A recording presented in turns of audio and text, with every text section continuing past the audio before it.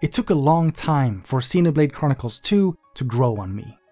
It's only after playing the game twice that I truly appreciate it. And I now realize I've been playing these games all wrong. Because Xenoblade 2 is a great game, but only if you're willing to put in the effort. This game is not to be taken lightly. Fair warning, this video will have massive spoilers for pretty much every aspect of Xenoblade 2, but I'm not gonna spoil any of the other games in this series. Xenoblade Chronicles 2 is a Japanese action RPG set in an epic sci-fi world, released in 2017 for the Nintendo Switch. It's a direct sequel to 2010's Xenoblade Chronicles, although the two games take place in different worlds and feature different casts of characters. While there is a connection between the two titles, it's more like an Easter egg than a part of the core story. And Xenoblade 2 can be played as a standalone game without really missing out. Still, players of the first game should feel right at home with Xenoblade 2. And the core gameplay remains very much the same. You form a party of three characters, although you only directly control the party leader, you explore large open world areas, fight monsters in real-time battles, and customize the heroes with rewards you buy from shops, loot from enemies, or earn from quests. While the basic formula is still there, a lot of the details are different, and for the most part, the changes feel like improvements. And the biggest improvements are found in the area of the game where you'll be spending most of your time. Xenoblade 2's playable characters are drivers, humans who form lifelong bonds with artificial beings known as blades, which can take the shape of anything from a cute girl to a hideous monster. A driver can engage up to three blades, but only one takes the field at the same time. Different blades have different strengths and weaknesses, where Xenoblade 1 assigned different characters the roles of tank, healer, and attacker, the attributes and abilities of Xenoblade 2's drivers are determined by the weapon type of their currently equipped blade, which means you can now change the character's role in the middle of combat. Battles in the Xenoblade series use a real-time command-based system that draws a lot of inspiration from the MMO genre. You can move around freely on the battlefield and your characters will auto-attack as long as the targeted enemy is within range but the real purpose of auto-attacking is to recharge the character's driver arts, powerful attacks with added effects like healing, extra aggro, or enemy debuffs. Driver arts are now mapped to different buttons on the controller, which removes the need to cycle through the first game's clunky arts palette. Attacks that are more effective when used from the enemy's side or rear lock the bonus in when you activate the art, so even if the enemy moves after you hit the button, you're still good to go. And break combos now come with 4 steps. Break, topple, launch and smash. And completing a combo feels incredibly satisfying. The biggest change to combat is probably the introduction of blade combos. Instead of the character-specific talent arts from the first game, Xenoblade 2 has blade specials big, splashy moves where the driver tags in their blade to deliver a devastating blow. By linking together a series of increasingly powerful specials of the right combination of elements, you can pull off a blade combo, a savage finisher that does massive damage and applies an elemental orb of the same element as the final attack. Just like in the first game, starting a chain attack turns Xenoblade 2's real-time combat into a turn-based experience. You still get to pick the character's actions one by one, but this time, chain attacks are all about blade specials, and the true objective is to shatter the elemental orbs you've applied to the enemy by hitting them with attacks of the opposite element. Every time you shatter an orb, you get to extend the chain attack by another round, and with just the right setup and a fair bit of planning, a well-timed chain attack can pretty much one-shot even the game's bosses. The pieces of Xenoblade 2's combat system come together in a very satisfying way. Cancelling attacks at just the right moment lets you mount a relentless offense. Timely blade switches help you keep combos alive, and constant on-screen button challenges force you to stay on top of the action. Battles come with a clear goal, And once you have all of the game's most important features unlocked, fighting is fun, fast paced, and feels amazing. The only problem is getting to that point in the first place. Xenoblade 2's combat starts really slow. Auto attacks are all you have to begin with, and even when you get your first driver arts, you'll spend most of your time waiting for them to recharge. It's quite a while before you can engage more than one blade per driver, and you won't have access to chain attacks until something like 10 hours into the game. Early battles feel slow, enemies take a long time to die, and fighting can get kind of tedious. Combat really only clicks towards the back half of the game, when you've unlocked all of the most important features, had a chance to customize your party, and learned how combat actually works. With 3 blades per driver, some pouch items to speed up your arts recharge, and the ability to cancel attacks into each other, combat goes from slow and boring to fast and furious. Eventually, you'll be spamming driver arts while cycling your blades to lock the enemy into endless driver combos and building towards a game-ending chain attack. When it's good, it's really good. At least, that's how I felt about my second playthrough, because Xenoblade 2's combat suffers from one major problem. And to explain it, we need to talk about the first time I played the game. On my first playthrough, it took me the whole game to really get Xenoblade 2's combat system. The second time I played the game, I had a blast right out of the gates. And the difference was knowledge. Because Xenoblade 2 is so much more fun when you understand how combat works. Xenoblade 2's combat system seems really simple at first, but there's actually a lot to learn. It's not that any individual combat mechanic is all that complex. The problem is the game does a pretty bad job of teaching you how to fight. Tutorials are brief, and the information you get can be really confusing or outright misleading. And even when the game does a decent job of teaching the basics, it often leaves out a lot of the details you need to get the big picture. The perfect example is fusion combos. Basically, starting a driver combo while you're in the middle of a blade combo, or the other way around, will result in a fusion combo. Fusion combos give you a lot of great benefits like bonus damage and a boost to the party gauge, and there's even something called a joint combo finish, which is when you strike the final blow to an enemy using a fusion combo for a huge bonus to XP.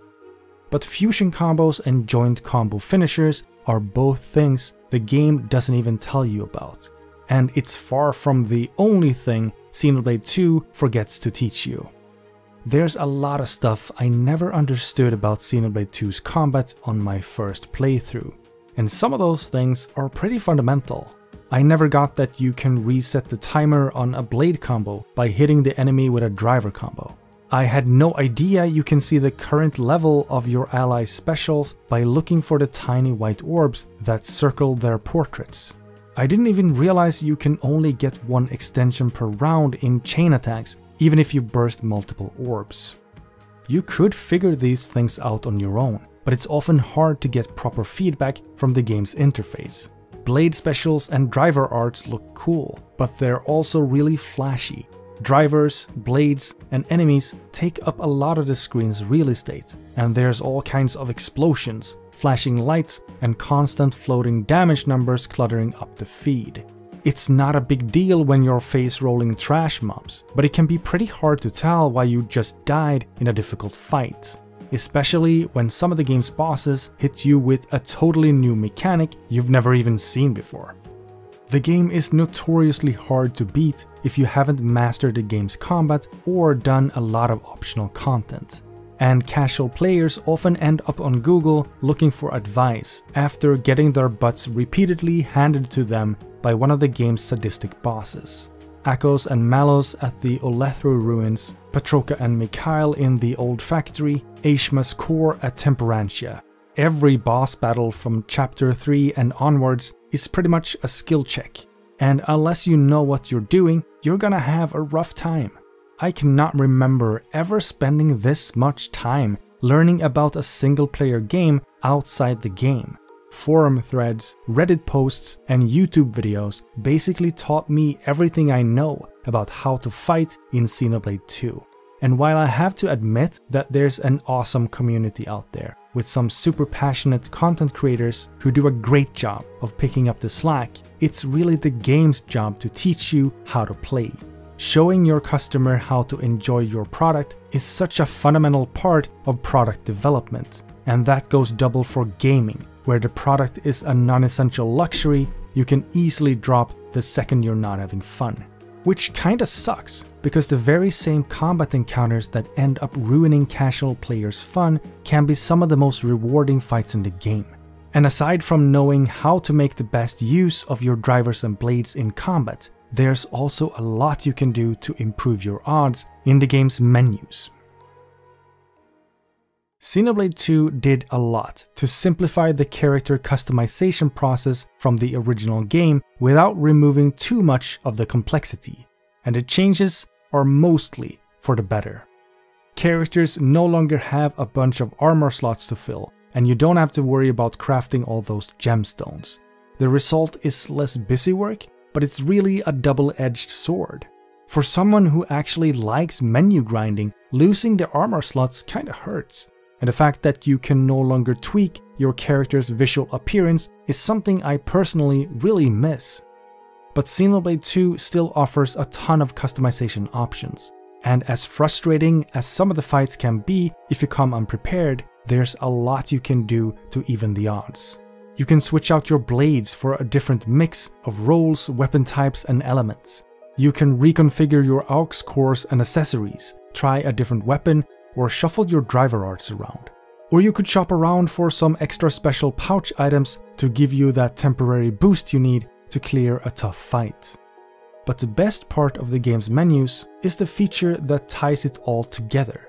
The feature that lets you supercharge your blade's combat abilities and is literally designed to send you out into Xenoblade 2's vast world to engage with all of its side contents. The Blade Affinity Chart, Every blade has its own affinity chart, which is basically a list of tasks you can complete to make the blade stronger. Each node on the chart is unlocked by performing a specific action, such as using an ability, defeating a specific monster, or collecting a certain resource. The Blade Affinity chart encourages you to learn the game, explore widely, and try new things. They're essentially a giant to-do list for completing the game, and they can be extremely addictive. There's a lot you can do to improve your effectiveness in combat, and with the right combination of blades, accessories, and aux cores, you can totally break the game. But that doesn't mean the design is without flaws. Xenoblade 2's driver arts are tied to weapon type and not character, and each weapon only gets 4 different arts.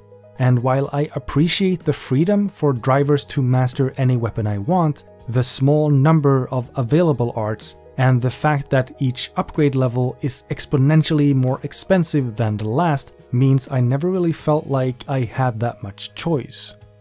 I also found it frustrating that you have to refine aux cores through crafting before equipping them on your blades.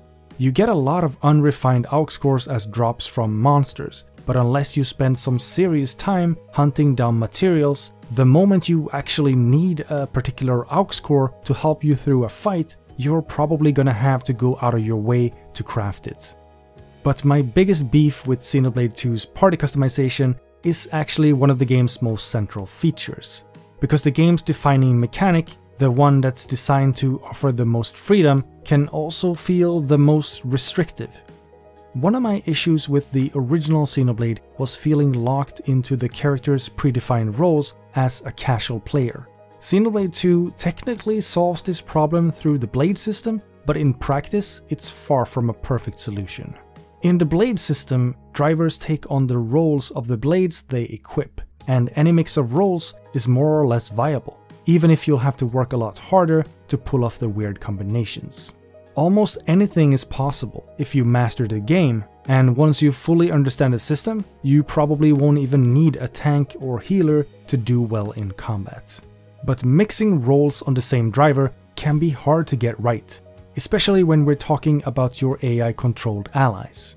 Giving Nia an attacker blade might seem like a great way to mix in a bit of extra damage, but since there's no way to prevent your allies from switching blades in battle, chances are she'll go on the offense the moment you need her healing the most. And since every driver has a personal blade they cannot normally remove, it's a lot easier to just go along with their default roles. There are definitely ways to work around these issues, but I often found it hard to form the exact party I wanted. And when you think about how much potential the blade system has, seeing it stifled by a bunch of restrictions is kind of a shame. And we haven't even talked about the most frustrating part. While some incredibly powerful blades automatically join the party at different points of the game, relying entirely on the story to fill up your roster will leave you starved for choice. To expand your options, you have to bond more blades. Xenoblade 2 includes a gacha mechanic, where you can spend core crystals of different rarities to recruit random new blades. You get these crystals by killing monsters, and most of the time, using them will result in the creation of a so-called common blade with a generic appearance and standard abilities. But if you're lucky, you'll pull a rare blade, a unique character with its own set of talents, a distinct personality, and a story to tell. It usually takes a lot of core crystals to get anything good, but it's not a predatory system since outside of the one-time purchase of the game's very reasonably priced DLC, there's no way to spend real-time money to increase your chances. Blade bonding is essentially a single-player offline gacha mechanic that ties directly into the game's world building. It's an interesting idea, but I personally find it mostly annoying.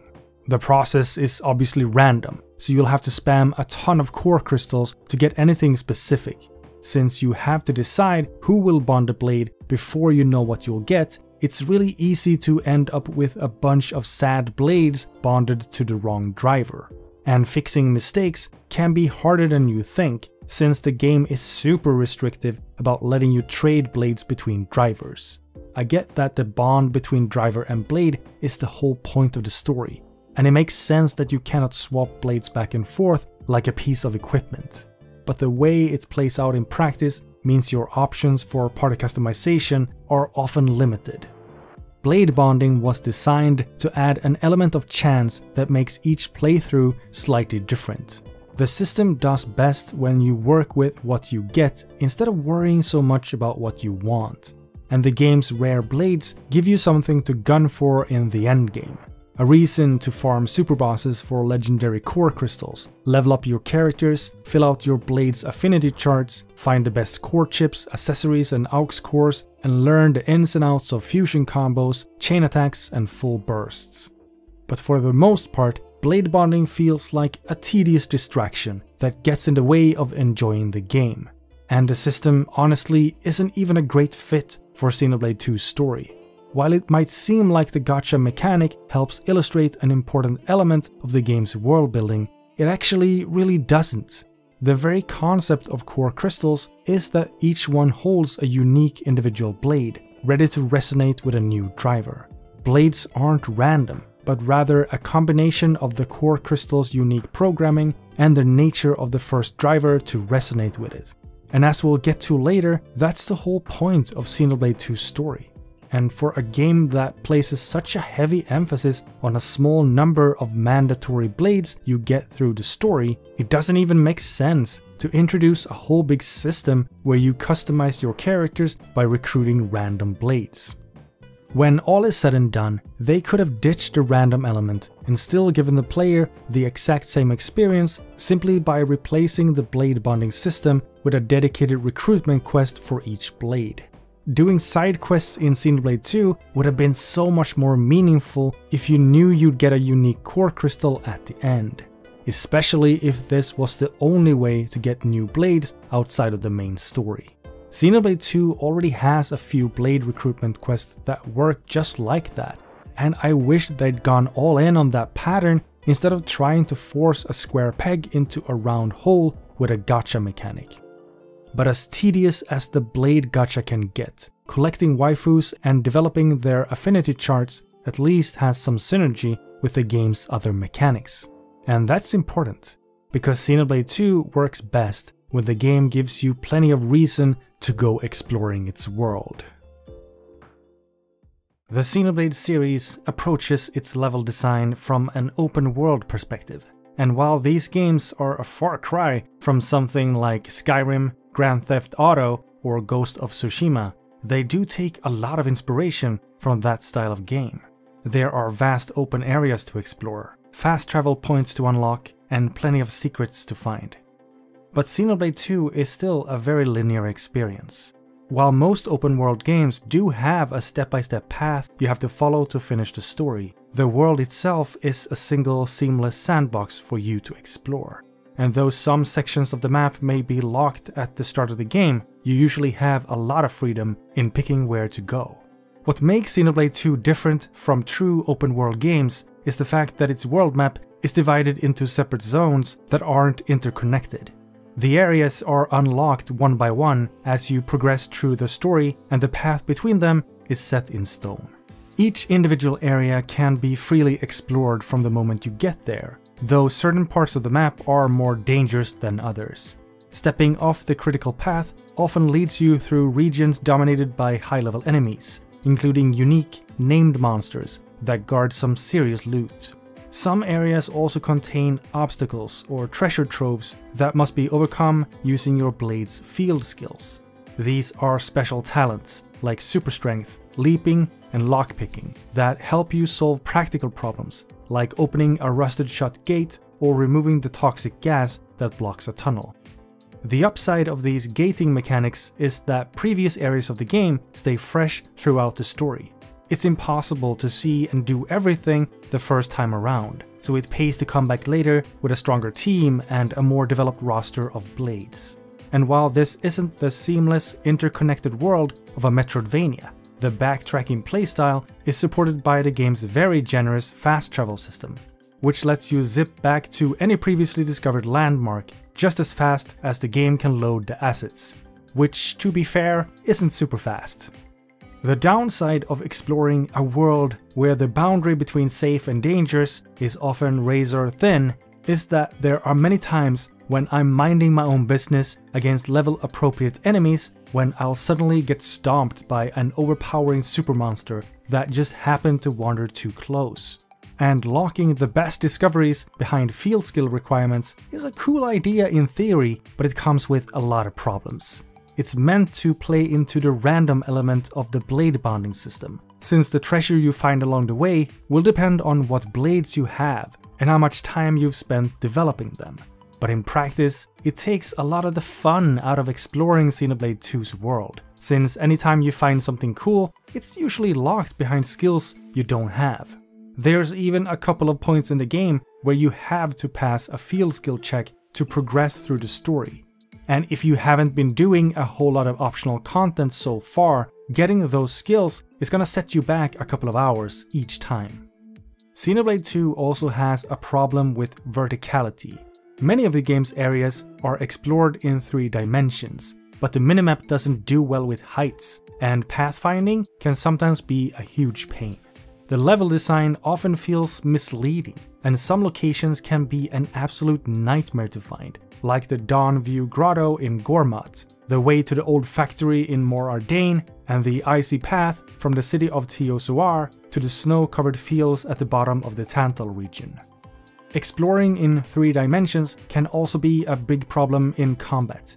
You spend a lot of time doing battle on and around cliffs, bridges, and narrow ledges and I've lost count of the number of times I fell to my death while fighting a monster, or lost a healing potion to a pit, or saw an ally literally drop out of the fight by walking off a ledge, or having the monster itself plummet to its death to rob me of my rewards. The game's camera can also be very unhelpful, especially in tight spaces. It's all well and good while you're running around a wide open field, but the moment you press up against a wall or enter one of the game's many cramped rooms and narrow tunnels, it's almost impossible to find a camera height that actually works. But these are issues that can be overlooked, and there's still a lot of stuff to see and do in Xenoblade 2's vast world. The real problem is something much more fundamental. open world games are really all about the joy of exploration, and Xenoblade 2 just doesn't give me that feeling.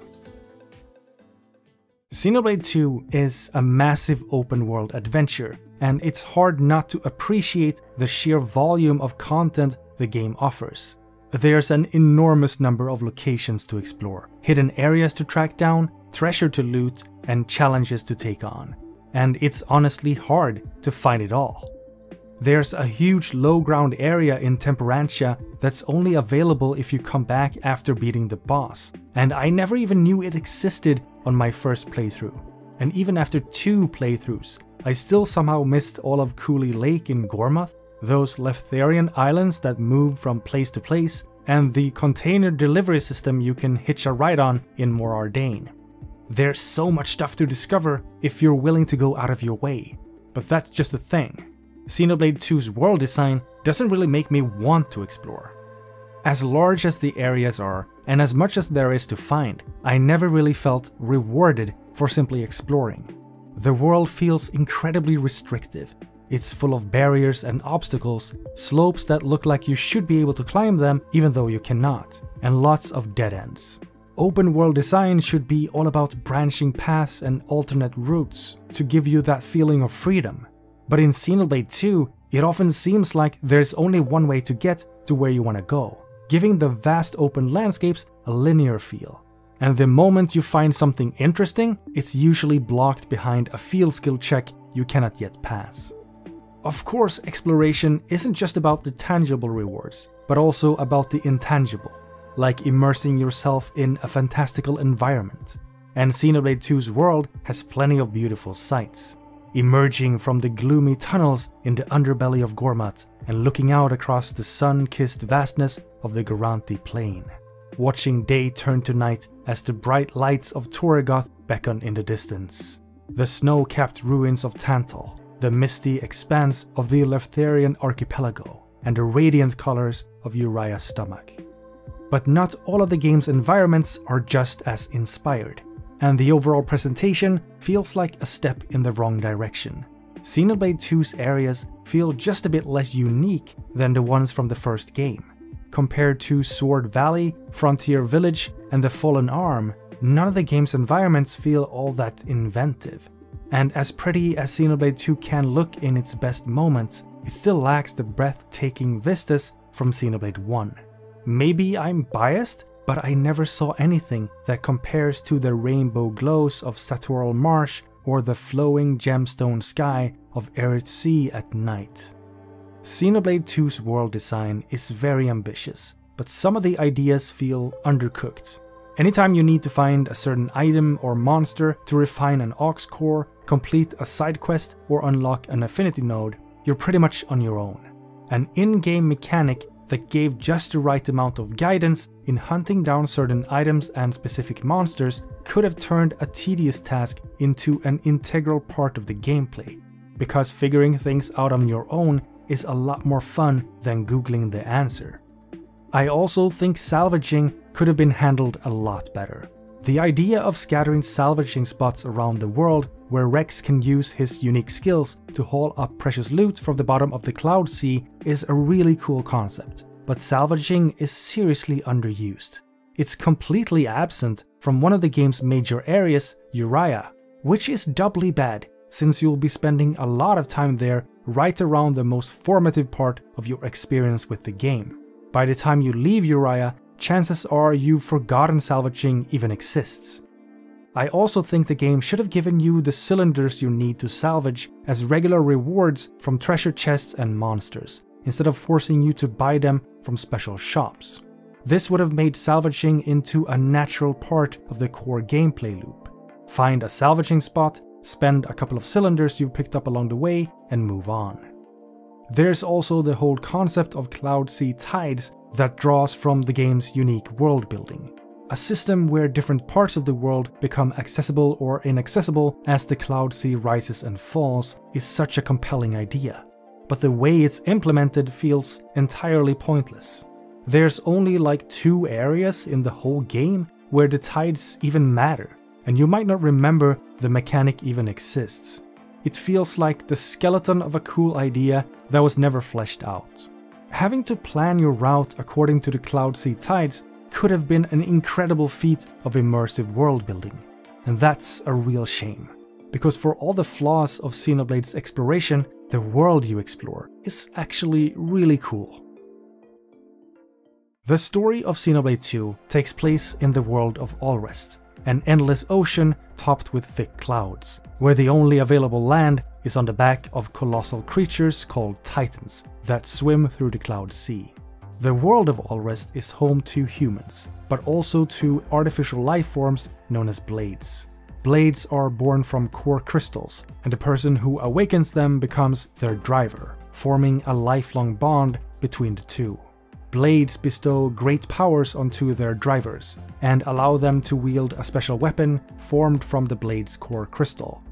Xenoblade 2 tells the story of Rex, a young salvager who becomes the driver of Pyra, a legendary blade called the Aegis, and their quest to reach the World Tree and seek the mythical land of Elysium.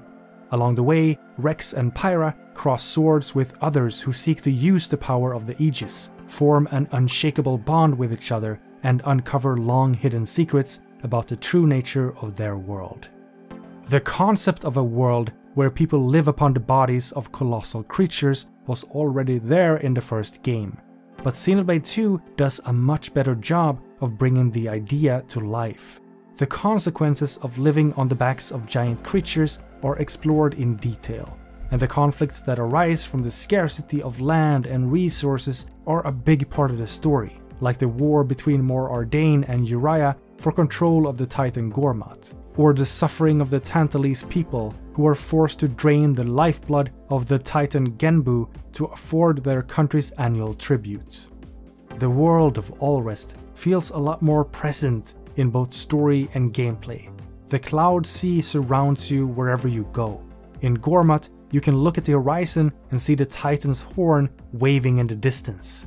The trading hub of Goldmouth hangs like cargo beneath the Argentum Trade Guild's Titan, making an island where merchant ships can dock. And Uraya swims through the clouds, emerging like a leviathan to swallow traders and mercenaries whole, and the people make their home inside its guts.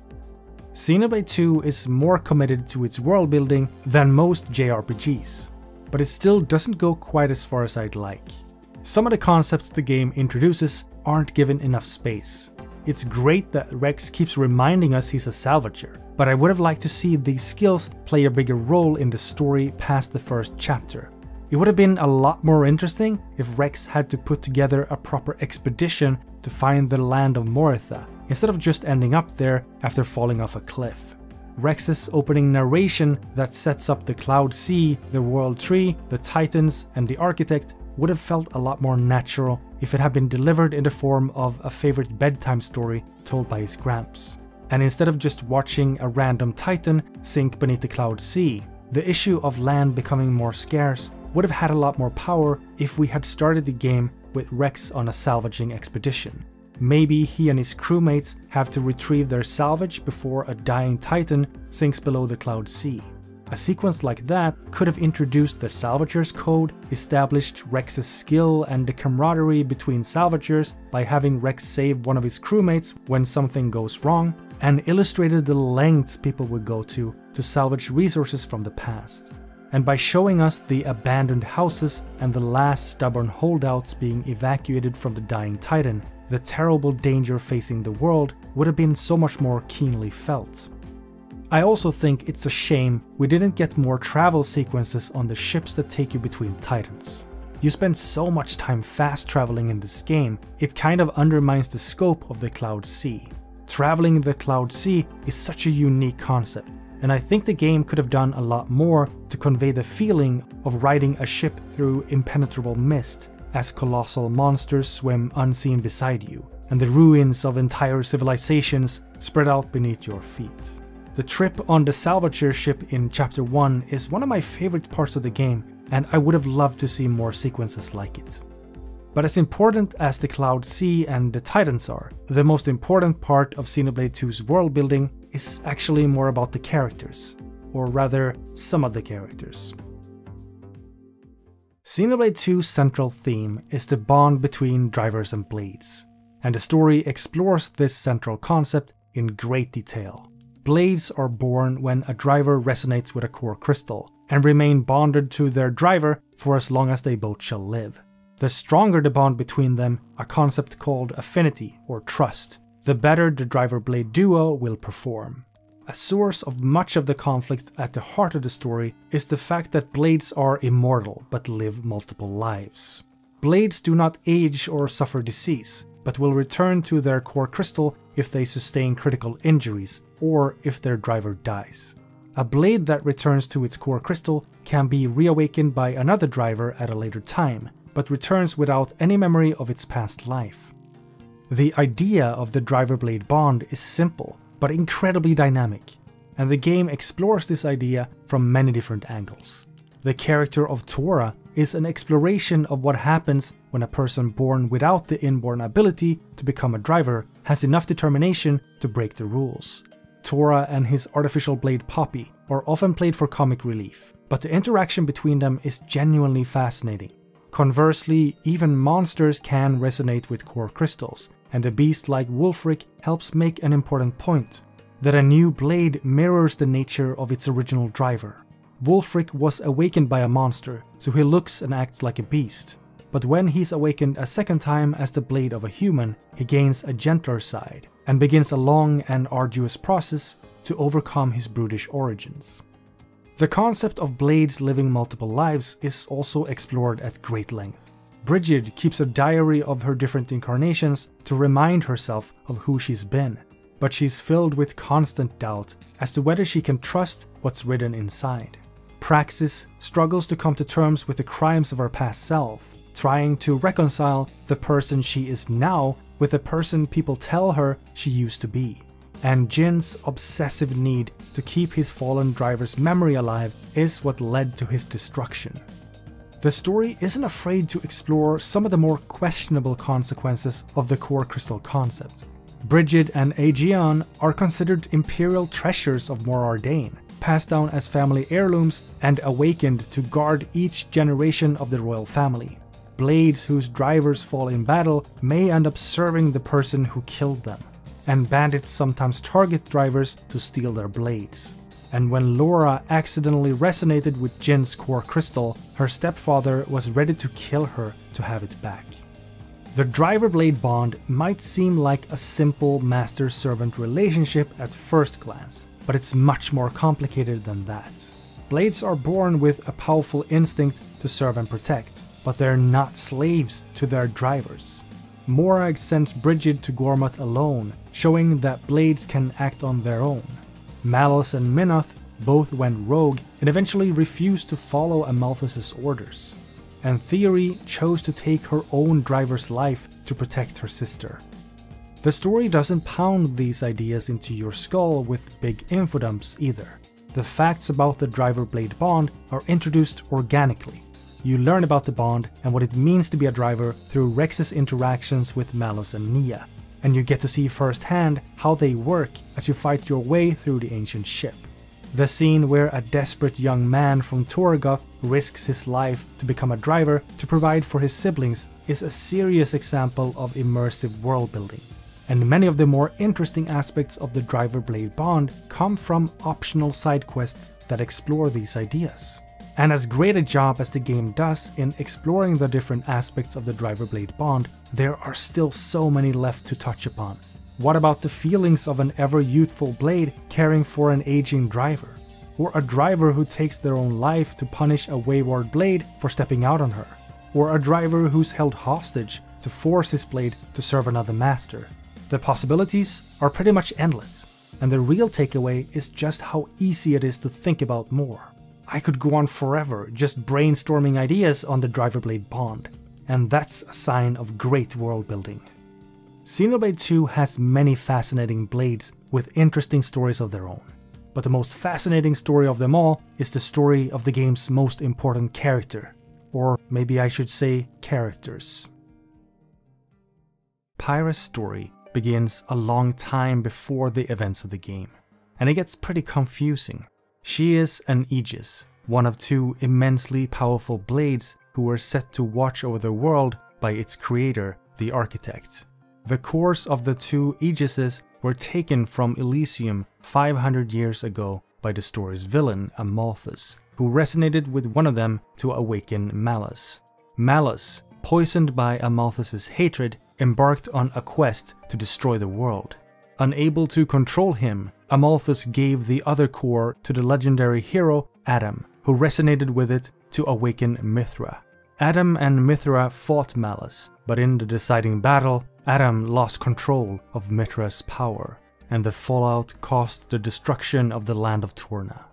Racked with guilt, Mythra constructed a secondary personality, Pyra, and went to sleep wishing for oblivion, leaving Pyra to bear the burden of her past.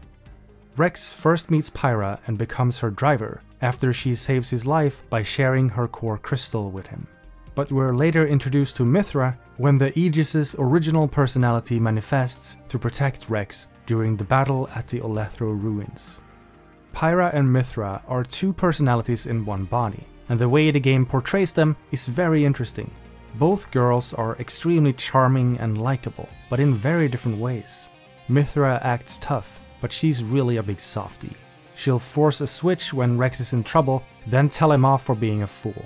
And she gets emotional when Tora is reunited with his father in the old factory, but she'd never admit it out loud. Pyra is gentle and caring and might seem like the perfect guardian angel, but she's also deeply tormented. She's outwardly cheerful and upbeat, but she hides a deep trauma behind her smile.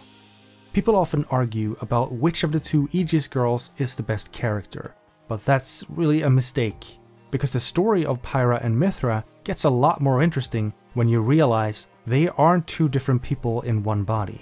They're really two aspects of the same person. When Mythra shows up to yell at Rex, it's because Pyra isn't able to express her anger. And when Mythra retreats to let Pyra handle something embarrassing or sad, it's not because Mythra doesn't care. She couldn't deal with those emotions, so she made a new part of herself that could. Pyra is gentle and Mythra is confrontational. The Aegis has two masks that she puts on, depending on the need that arises, and that's something that many of us should be able to sympathize with. But Pyra and Mythra have one very important thing in common. They both begin the story desperately wanting to die. The story of Pyra and Mythra is a clever examination of the driver blade bond, because for all her power and immortality, the Aegis lacks something that other blades have the opportunity to forget the past. In Pyra's own words, a blade can live forever. Eternity is a long time to collect bad memories. Sometimes being able to forget is a blessing. Pyra spent the last 500 years wallowing in self-loathing over her past mistakes, and her journey to Elysium is secretly a journey of self-annihilation. She goes to Elysium to ask her father, the architect, for permission to die. In essence, Pyra is afraid to live because she cannot bear to remember her past. But Pyra's journey with Rex and the bond of trust that grows between them changes her and as Pyra comes to terms with her role in the world and the actions of her past, she realizes she no longer wants to die. Pyra's story is a masterclass in characterization. It's told through subtle gestures and clever innuendo. It's hidden beneath the game's glitzy surface, and it's only when we finally get the point that we can look back and see the signs that were there all along. The only criticism I have to give is that it could have been less subtle. The few scenes we get where Pyra and Mythra interact with each other is some of the best content in the whole game. Seeing them talk to each other, bargain with each other, and make decisions together is absolutely fascinating, and I really would have liked to see a lot more of this. Nevertheless, Pyra is a great character, and one of the highlights of Xenoblade 2. And in a game full of spectacular scenes, Pyra just might be the biggest star because she takes the spotlight in what is to me the best scene in the whole game. Xenoblade 2 is a dramatic game, and the story has plenty of moments that blew me away. The first meeting with Pyra in the Dream of Elysium, Rex and Pyra's first battle as driver and blade, Mythra's first appearance and Vandham's death, Nia's heartfelt reveal in Spirit Crucible Elpis, and Pyra and Mythra awakening Pneuma and becoming the Master Blade. But the game's best scene, by far, is Pyra's ultimatum. Pyra's love and commitment come into full force in the battle at Genbu Crown. Outmatched and facing defeat in their fight against Jin and Malos, Pyra makes a desperate bargain. Knowing that Malos needs her alive to realize his plans, Pyra threatens to annihilate herself on the spot if Jin doesn't spare Rex and the others. This is the scene that really sold me on Pyra. It's shocking, dramatic, and emotional, and it shows the true depths of Pyra's conviction. With her back firmly against the wall, Pyra is ready to gamble it all for a chance to save the people she loves. It's a fantastic moment of pure suspense, a sensational cliffhanger to kick off the story's third and final act, and an amazing setup for a romantic payoff. And here at last, I have to mention the music. Xenoblade 2's soundtrack is a collaboration between several very gifted composers, who all make great contributions to the overall product. But many of the game's most important story beats are raised into majesty by the compositions of the legendary Yasunori Mitsuda, and Pyra's Ultimatum is no exception. The track that forms the backdrop to this scene is called The Decision, and it's an absolutely stunning orchestral piece that conveys an all encompassing atmosphere of tension, dread, and desperate hope.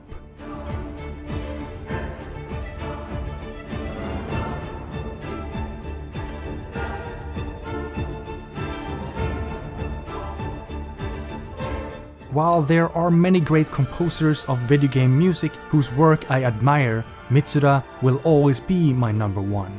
He's not the most prolific composer out there, and there are others whose bodies of work have meant more to gaming as a whole. But when Mitsuda shows up, the heavens divide. He's a level 99 divine sound assassin who appears out of nowhere to attack your weak spot for crippling damage. You'll heal, but you'll never be the same. Unfortunately, as great a scene as Pyra's Ultimatum is, it's wasted on the game's protagonist, Rex and the hero's reaction to Pyra's abduction is probably the weakest point in the whole story. When the woman he's sworn to defend is taken by the enemy, Rex's response is to give up. It's realistic, I guess, but it's about the worst move you could make if you're writing a romance. When the hero should be moving heaven and earth to get Pyra back, he throws in the towel. This should have been Rex's defining moment, the moment when he becomes a true hero, and a man worthy of Pyra's love. He should have been out the door the moment he woke up, willing to do everything in his power, even if it feels hopeless. Sure, Rex eventually found his feet, but only after getting some sense slapped into him by Nia and Brighid. Imagine finding out later that your man had to be talked into coming after you. But Rex's reaction is really a symptom of a deeper problem. Pyra's sacrifice at Genbu Crown is the best scene in the game, but it could have been a hundred times stronger if the game actually had a functioning love story. Because as cute as Rex and Pyra can look together in cutscenes, their romance is actually totally broken. Rex is a great guy, but I just don't see him with Pyra. To put it bluntly, he's way too young for her. The hero is 15 years old, but everything about him is so childlike. Even the way he swings his weapon in battle makes him look like a little kid playing around with his father's sword. And every time I see Rex and Pyra together, all I can think is she looks like his mom. But age is just a number, especially in a JRPG. And I could keep my cringe muscle under control if the rest of the romance was any good. But the real issues run much deeper. The relationship between Rex and Pyra feels forced and there's very little in the way of genuine bonding between them. Rex consistently fails to interact with Pyra in a meaningful way, which kinda makes sense since he's basically just a clueless kid. He really has very little to bring to the table when it comes to emotional intelligence, And while I can totally see how Pyra would admire his kindness and draw strength from his relentless support, outside of like the campfire scene at the start of the game, he never actually does anything that feels remotely romantic. And considering that Pyra spent the last 500 years obsessing over the past, it's more than a little gratuitous that she falls so hard and fast for Rex, when she should really be stuck on her original driver, Adam. Instead of building a believable relationship between hero and heroine, the story leans on anime tropes to turn up the heat. The scene where Mythra goes sleepwalking and wakes up in Rex's bed is the perfect example. I'd be totally on board with all kinds of sexy shenanigans if it fit in the story, but this scene has zero setup and comes out of nowhere. It's pure fan service, and it's weirdly undermined by the story of Torna the Golden Country, where we find out this is just something Mythra does and has nothing to do with attraction. Even one of the story's central themes ends up working against the romance. Rex's defining feature is his unwavering trust, and it's this quality that makes him the perfect person to save the world. But it also means he never questions Pyra, even when he should. I get that Rex would have a lot of faith in Pyra, especially after she saved his life. She's gorgeous and kind and protective, and Gramps seems to trust her as well. But he really should have pushed for some answers when it became obvious that Pyra was holding things back that could have gotten him killed, like the fact that Malos and Jin are blades, or that Amalthus is Malos's driver. I'm not saying Rex should have forced Pyra to spill the beans, but the relationship between them would have been a lot more interesting if he'd been a bit more assertive. Imagine a scene where he takes Pyra aside and tells her, if there's something you're holding back, I understand if you're not ready to tell me, that's fine, but if there are things I need to know to keep you safe, to keep all of us safe, then I'm trusting you to tell me, alright? A scene like that would have had so much power. Imagine how Pyra must feel, torn between the wounds of her past and the burden of keeping secrets from the person she loves. Imagine a scene where Rex and Pyra argue, and Rex maybe pushes too far. Then later he apologizes in a super heartfelt way. Scenes of Rex being gentle and attentive to Pyra's feelings. Tender scenes where he shows her he cares and that he's there for her. That he's willing to go through a lot to support her. And imagine the scene where Pyra actually finally tells Rex the whole story, in her own words, laying bare her mangled heart. How in the world is that scene not already in the game? Scenes like these would have made the romance work, and it would have been one of the best love stories in JRPG history. But none of these ideas would make sense in Xenoblade 2, because Rex isn't the right man for that kind of romance, and it's not where the story is going. As I will show later, Rex's unwillingness to question Pyra works perfectly in the service of the game's central theme but it's a horrible way to write a love story. Even though the game's central romance falls completely flat in my eyes, Xenoblade 2 is still an enjoyable story with great characters, amazing world building, plenty of exciting set pieces, and some really cool plot twists. But in spite of all of this, the question that's been on my mind ever since I first beat the game is this. Why do I find the game's story so forgettable? Outside of a few key moments that really stuck with me, like Vandham's death, the true nature of Pyra and Mythra, and a big reveal about Elysium and the Architect, almost every detail about Xenoblade 2's story was wiped from my mind within a month of first beating the game. I could remember the broad strokes, but not the way they fit together. Why was Pyra trying to reach Elysium? What was Amalthus trying to do? Why was Rex able to open the seal on Spirit Crucible Elpis? Why did the heroes go to Tantal? Who was Lora and was she the same person as Haze? What was Malos so angry about? Why was Jin working with him? And what was that Xenogears looking mech he was piloting at the end? These were all actual questions I wrote down before starting my second playthrough. After playing the game twice and spending way too much time thinking about it, I can kinda see why, because Xenoblade 2's story can be pretty confusing. Many of the game's most important plot points take place in the distant past. Amalthus' fateful decision after failing to find the architects, Mythra's reaction to the destruction of Torna, the origin of Malos's hatred, and Lora's death that broke Jin's heart. It's a story that began long before most of the heroes were born, and the game can be incredibly cagey about handing out the information you need to understand people's motivations. Instead of telling you things outright, the game prefers to imply them, often in the form of separate clues you have to put together on your own. The motivations of the key characters can be very hard to follow, and even super basic questions like what are the villains actually planning to do is something you have to figure out on your own. The story also relies heavily on withholding information from the protagonist. Many plot points hinge on Pyra, Gramps, and others not telling Rex anything until they absolutely have to. And it doesn't help that Rex almost never asks questions. This method of preserving mystery through don't ask, don't tell is one of the laziest storytelling devices I can think of, and it robs the heroes of all their agency. Watching the characters work through their problems and come up with clever solutions is such a fun part of any kind of story, but it's kinda hard to be proactive or make plans when you don't have the facts. As a result, the story often lacks forward momentum, and despite some really dramatic highlights, there's very little urgency and tension in the overall plot.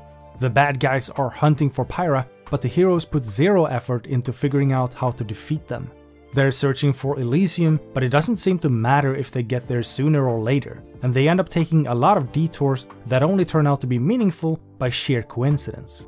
The heroes head to Indol with Cole's dagger without even knowing who they're supposed to present it to, Things only work out because Fan la Norne somehow finds them in the old factory and brings them to see Amalthus. And they're only in the old factory to begin with because they chased down the artificial blade Lila, and then the bad guys just happen to be involved anyway. There's just very little cause and effect in the story, and the heroes spend most of the game just drifting with the wind, following whatever advice NPCs give them. It reads more like the writers worked backwards to plot out the necessary steps to place people where they need to be. A series of convenient excuses to show off some really cool set pieces, provide necessary plot points, and build to the big reveals. It's only at the end of chapter 6, when Pyra gets taken, that the game really kicks into gear, and that's pretty darn late to start raising the stakes. Some of the game's most critical plot points are also surprisingly sloppy, the worst of these is probably when Malos rips the data from Pyra's core crystal at the cliffs of Morytha. We're clearly told this act will leave Pyra dead or an empty husk once it's done. But even though Rex shows up too late to stop it, Pyra's just fine. Apparently, the destruction of her core crystal was no big deal after all. It's a super cool scene, but this is one of the few times in the game when there's any kind of stakes. I would have swallowed even the cheesiest, hand-waviest of explanations, but to get nothing at all, after the game built all that suspense for this plot point, just makes me feel cheated. But at the same time, the way this scene plays out is a perfect fit for this story. Low stakes and fake deaths are part of Xenoblade 2's vibe, because compared to other Xeno titles, this game has a very different tone. In some ways, Xenoblade 2 feels like the least Xeno of all Xeno games. And a lot of my issues with this game come down to a deliberate difference in tone. It's pretty obvious that Xenoblade 2 was intentionally designed to appeal to a younger audience than the previous games in the Xeno franchise. And as much as I love the original Xenogears and the Xenosaga trilogy, I'll be the first to admit they're not exactly beginner friendly. The first Xenoblade Chronicles was itself a major departure from the style of storytelling seen in the earlier titles. But even compared to that, this game clearly has a different vibe. One of the things I most associate with the Xeno series is complex characters. Introspective protagonists with rich inner lives who are filled with doubts and fears and are working through their own traumas.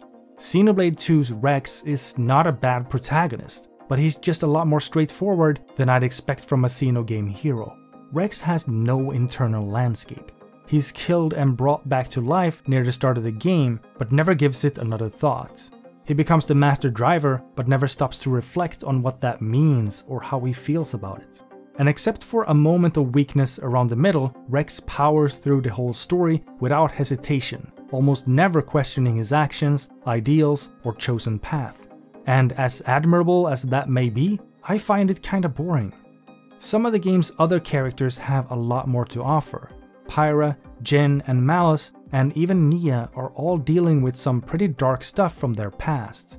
But we don't get to see nearly enough of the story from their perspectives. Xenoblade 2 is also much more light-hearted than other Xeno titles.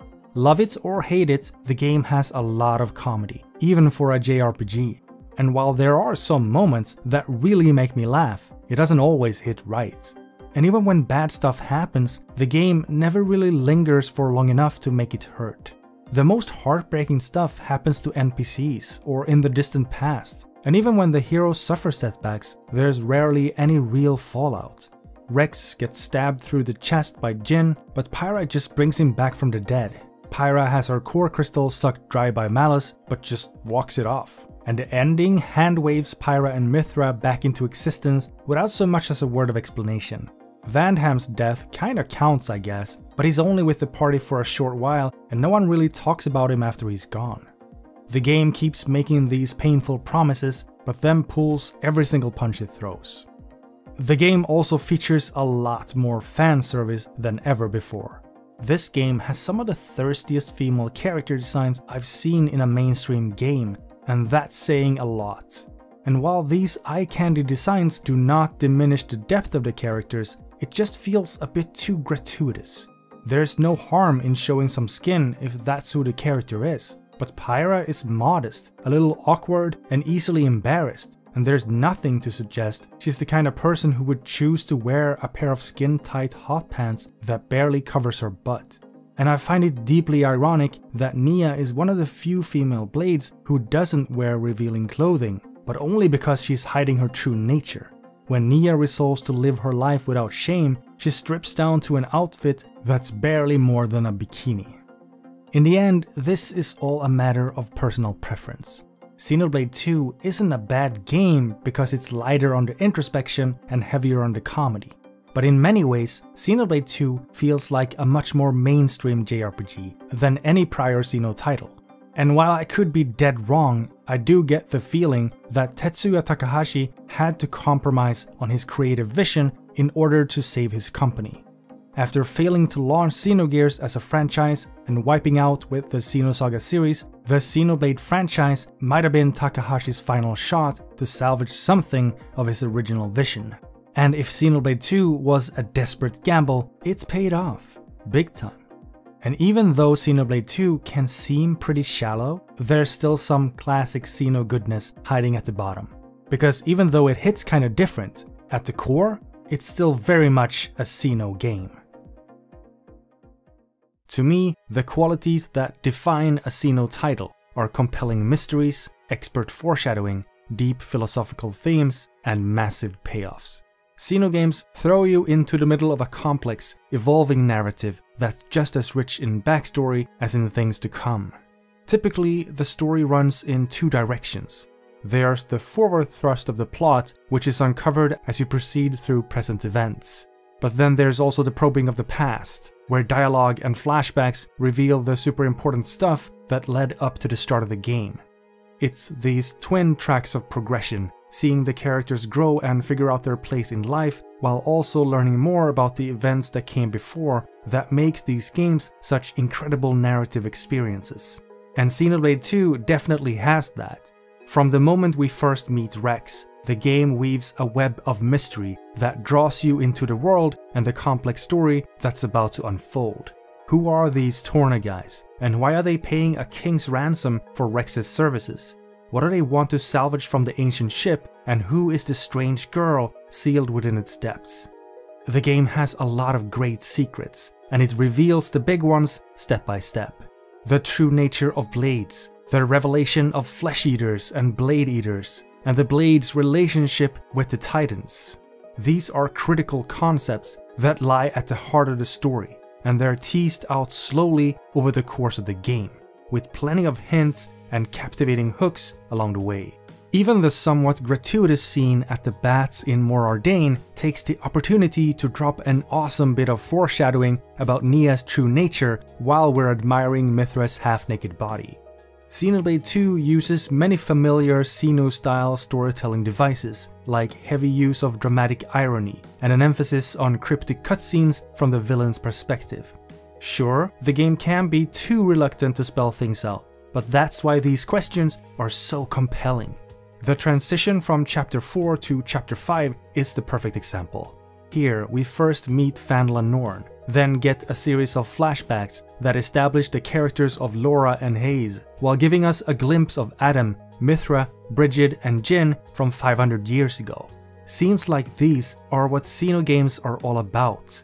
Scenes that expand the story in disorienting ways, suggest hidden connections you hadn't seen before, and leave you desperate to know more. The story builds mystery with subtlety and power, and without beating you over the head with the facts. Some of the game's best moments are things you only really appreciate on a second playthrough. When Jin murders Van Norn at Temperantia, it seems senseless and brutal, but only because we don't see the big picture. Fan is Amalthus's blade, but in her past life, she and Jin were both bonded to Lora. When Jin confronts the heroes at Temperantia, he sees his old friend, a slave to the man they both hated, brainwashed to remove all traces of Haze, the person she used to be, her core crystal broken in half to empower her tormentor. Jin did what he did out of compassion. He didn't murder Fan, he released Haze from captivity. Even though the story takes it too far sometimes, there's still a beauty in putting two and two together on your own. The conversation between Malos and the architect near the end of the game is a masterclass example of using subtext in writing dialogue. Here's a scene where you have to apply your own understanding of the story to truly get what passes between them. Malos does get his answer, but the true meaning is in the words that are left unsaid, and the scene is that much stronger for it. Xenoblade 2's story demands a lot from the player, both in time and engagement. It's often confusing and leaves a lot unspoken. But the rewards are there, and the payoffs are potentially huge. The first appearance of Mythra, the realization that the Torna gang are all blades, and the meeting with the architect are powerful moments that make the long journey and all that build up feel more than worth it. And at the end of the day, Xenoblade 2 has perhaps the most Xeno scene in Xeno history. Xenoblade 2's final chapter opens with a spectacular scene that blows the story wide open. In a flashback from a past unimaginably distant, we get to see the events that led to the creation of Xenoblade 2's world and the inciting incident of the entire Xenoblade franchise. It's an unbelievably awesome scene that sends shivers through my body every time I see it. It's the kind of massive payoff that makes 60 plus hours of gameplay feel like a small price to pay for 2 minutes of breathtaking wonder. It's the kind of cosmic sci-fi mysticism that I loved about Xenogears and Xenosaga, and it's my favorite part of the Xenoblade series. Xenoblade 2's story is at its best when you're willing to put in the work. Because even when it comes to some of the game's most central questions, the answers don't come for free. You have to earn them yourself. And I cannot think of a better example than the most baffling question of them all. What was Jin actually trying to do and why? Jin spends most of the story serving as the primary antagonist, and it's only towards the end of the game that we learn his true motivations to help Malos realize his long-held desire of reaching Elysium, demanding the answers he's been denied from the architect and possibly destroying the world. Jin's motivations come from his tragic past. He is a flesh eater, a special kind of blade whose body has been fused with humanoid cells, granting him tremendous power as well as the ability to survive his own driver's death. But what makes Jin unique is the way he became a flesh eater. As his beloved driver Lora lay dying from a horrible wound, she confessed she could not bear the thought of Jin forgetting her upon his return to his core crystal. Desperate to keep Lora's memory alive in any way he could, Jin used a forbidden technique to consume Lora's heart, making him effectively immortal. But here's where the story gets hazy. We know that Jin was heartbroken by losing Lora, and that he hates Amalthus for ordering the attack that caused her death. We know he hates the architect and sees the driver blade bond as a form of slavery. And we know Jin seeks Pyra's power to restore Malos's damaged core crystal and open the way to Elysium, so that Malos can kill the architect and destroy the world. But there's still a long way to go from being Lora's blade to wanting to wipe out all of humanity. Jin's transformation seems almost absurd. How could he join forces with Malos, the very calamity that Lora devoted her life to fighting? How could he believe the driver blade bond is fundamentally broken when he had a true, loving partnership with a genuinely amazing person who treated Blade and human alike with the utmost respect? Lora was a protector, a kind soul who wanted to make the world a better place. Jin kept his driver's memory alive, but he turned his back on everything she believed in. Even after two playthroughs and armed with the insights from Torna the Golden Country, I still couldn't understand Jin's motivations. So I looked for answers online. I've read plenty of great theories about what drove Jin to ally with Malos and seek the destruction of humankind.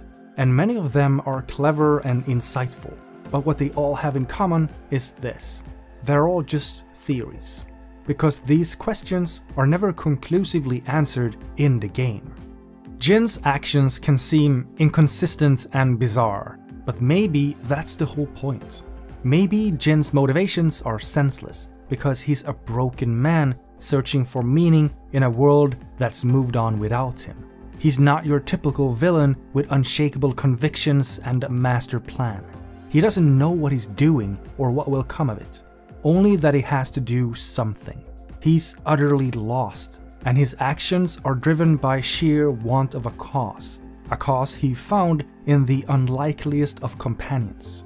After losing Lora, the one person in the world Jin could actually connect with was the very man who had sought to destroy everything Jin once held dear the equally broken Malos. Two blind men showing each other the way. In the end, it's just a theory, but that's what Xenoblade 2 is all about finding your own answers. Leaving a question unanswered can be a powerful thing, and for many players, Jin's story obviously resonates with them. He's easily one of the most popular characters from the Xenoblade franchise. And while I would have liked to see more of his perspective and understand his thoughts, I can totally see why. Much like the question of Jin's motivations, there's value to be found in Xenoblade 2's story, if you care to look. We each get to take something of our own away from the game, and that brings me to Xenoblade 2's central theme. But first, we have to talk about my favorite character. Xenoblade 2 is a great adventure full of mystery, spectacle, and stunning revelations but the best part of the story is without a doubt the characters. Sure, the characters all draw from familiar archetypes, but there's so much more than just their tropes. Each member of the main cast is incredibly well realized and has enough depth and personality to make them feel like unique individuals. The dialogue is strong, the voice acting is generally great, and the English translation adds a ton of color to the character's speech. I love Pyra for her kindness, self-effacing charm, and hidden depths of feeling. Mythra for her bossy attitude, firecracker temper, and unexpected soft side. Zeke and Pandoria for being the cutest couple and always making me laugh. Poppy for her enthusiasm, honesty, and natural talent for throwing shade. And Morag for being the best big sister anyone could have. Before my second time through the game, I would have said my favorite character was easily Nia. She's an irreverent, cocky, hot-headed badass with a heart of purest gold. She's got great chemistry with her blade Dromarch, a heartbreaking backstory, and a solid character arc that's all about learning to love yourself. It's a powerful story that should resonate with a lot of people who have to pretend to be something they're not just to keep their place in society which is pretty darn cool. While I still love Nia and stand by everything I just said, after two playthroughs and sitting down to really think about the meaning of the story, I have a new favorite character, and it's probably an unlikely candidate. They're not my favorite because they're admirable or likable. Rather, I'm drawn to this character by an entirely different feeling compassion. Because even in a game that's jam packed with sad backstories, this character is by far the most broken, pitiful being in all of Xenoblade 2.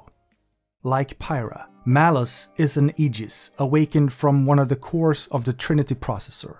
He's a genocidal master blade who hates humanity and spends the entire story searching for a way to kill the architect and destroy the world. Malos is Xenoblade 2's main antagonist, but even though he does a lot of bad stuff over the course of the game, he's not the story's true villain. Because Malos isn't acting of his own free will. In fact, he doesn't even know his own will. All the rage, hate, and contempt that defines Malos at the core comes from an outside source, his driver's mind. Malos's driver is Amalthus, the leader of the Indoline Praetorium.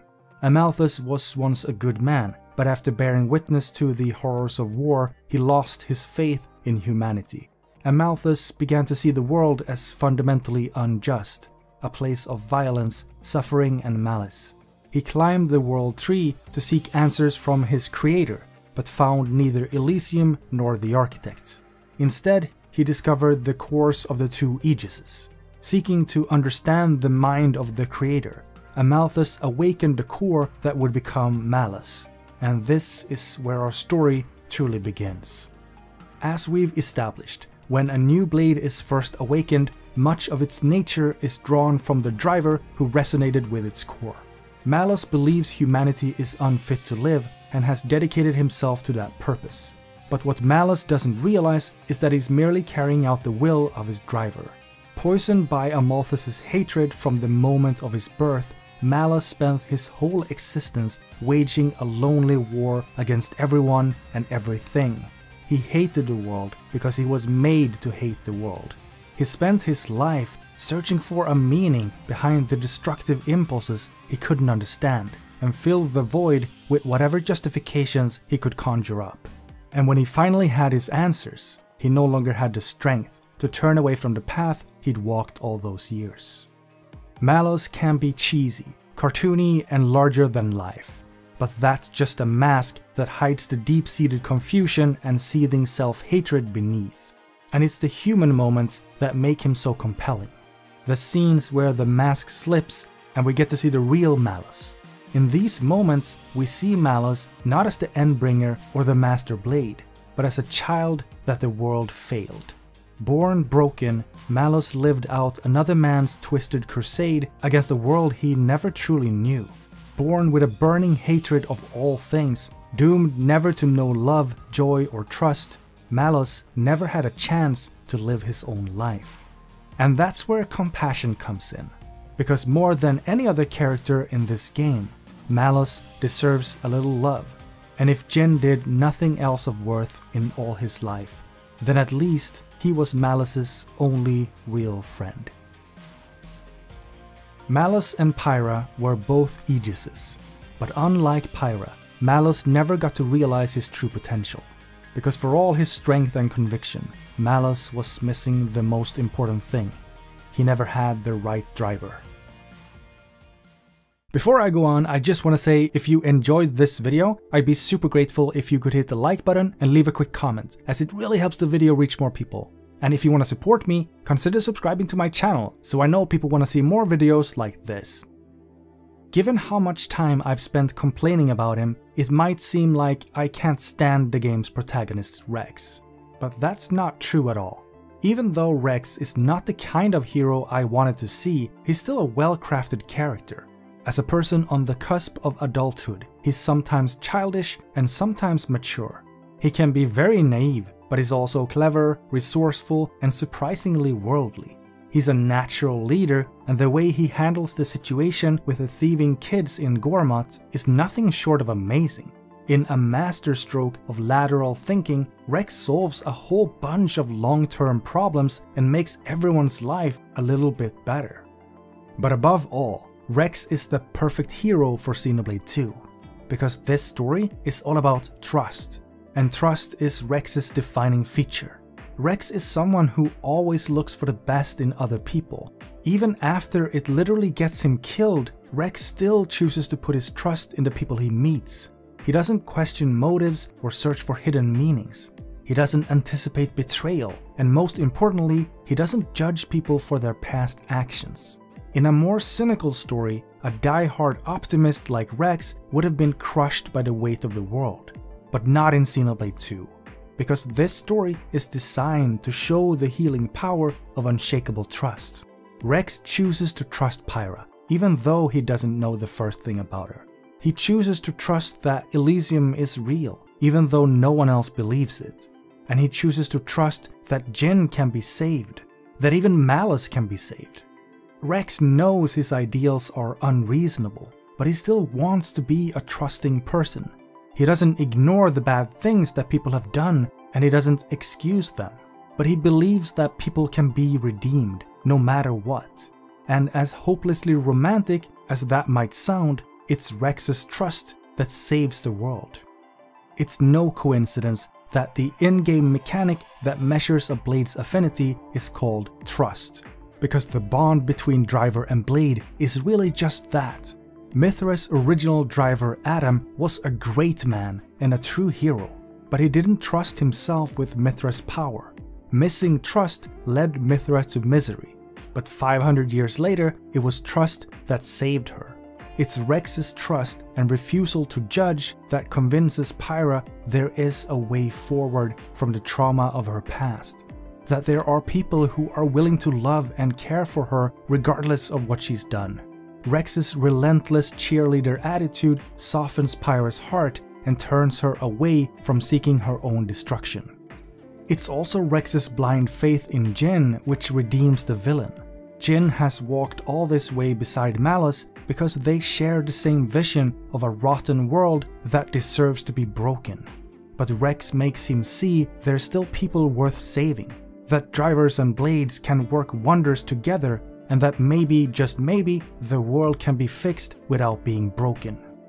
And even though Rex was too late to save Malos, he still managed to make his point. In the end, Malos admits that things might have been different if only they'd met sooner. Xenoblade 2's message is that we're better together, but to become more than the sum of our parts, we have to trust each other. Malos believed the bond between Rex and Pyra was their greatest weakness, but what he failed to understand is that our bonds can make us stronger. When we lean on each other, we stand more firmly than we could alone. Without the bond between them, Pyra would have never reached her true potential as the Master Blade, and Rex would have never been the Master Driver. And it was that bond, that trust, that made them stronger than Malos. On my first playthrough, Xenoblade 2's story left me confused and unimpressed. It was only my second pass through the game that taught me to look deeper. Once I did, I saw that all the missing pieces are actually there. You just have to put the puzzle together yourself. And even though the writers could have done a better job telling it, this is still a great story. You just have to work a bit harder than usual to get it. And that's not just true for the story but for pretty much every aspect of the game, because Xenoblade 2 is not to be taken lightly. Xenoblade 2 is not a great game for casual playthroughs, but it's perfectly suited for passionate players.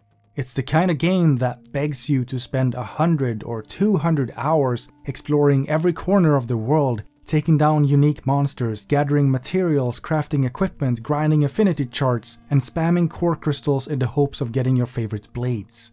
And when you play the game this way, taking your time instead of rushing the story, all of the serious issues that casual players encounter just go away. The blade bonding system can be a huge time sink if you only pop crystals when you absolutely have to, or if you're dead set on acquiring specific rare blades but it works totally fine if you're casually recruiting blades as you go through the game, without worrying too much about what you end up with. Mandatory field guild checks, like the ones in the Spirit Crucible or the Cliffs of Morytha, can stop you dead in your tracks if you're hurrying through the game, but they're totally trivial if you've already put hours into bonding and developing blades. And some of the game's bosses can be massive roadblocks if you haven't touched the side content but do a few quests, upgrade your party, and stock up on pouch items, and they're totally fine.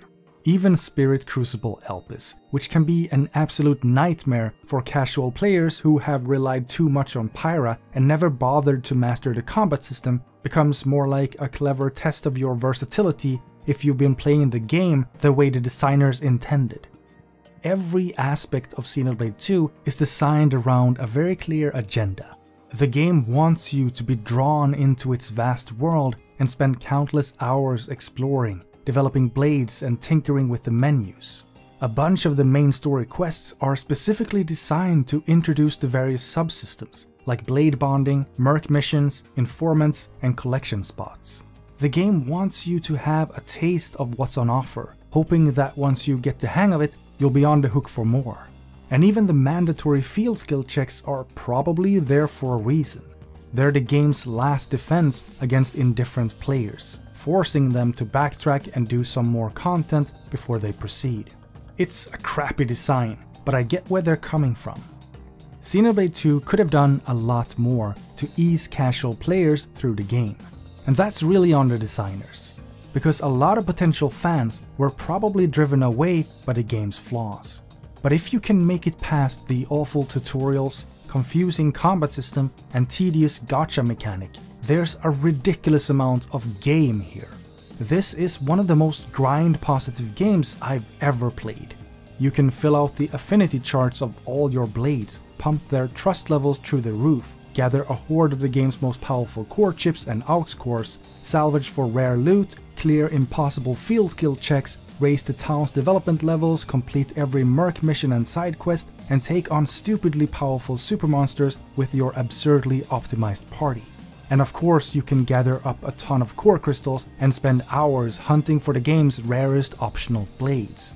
There's enough stuff in there to keep you going for hundreds of hours if you want. Xenoblade 2 is the game that finally made me realize I've kind of lost my way. As a teenager, I squeezed every drop out of Xenogears and Final Fantasy VIII because I didn't want the games to end. And if some parts were endlessly frustrating, I'd just grit my teeth and try even harder. But as I've gotten older and found myself with less time on my hands, the way I engage with these games is totally wrong. Now I play these games to reach the end, and the slightest frustration can kill my vibe. But JRPGs aren't about the destination. They're about getting lost in the journey. And in the best of worlds, those journeys aren't supposed to ever end. Xenoblade Chronicles 2 isn't the game I wanted, but it's a game I've grown to appreciate more and more as time goes by. And it's probably the game the series desperately needed. And if Takahashi and his team had to make some concessions to attract a wider audience, that's okay by me. Because as long as Tetsuya Takahashi is still making games, I'll continue buying them sight unseen. In the end, Xenoblade Chronicles 2 is a game about collecting crystals to attract big-breasted waifus with massive swords and these are just my personal opinions. Whether you agree or disagree, I'd love to hear about your experiences with Xenoblade Chronicles 2 in the comments below. Thank you so much for watching and have a great day.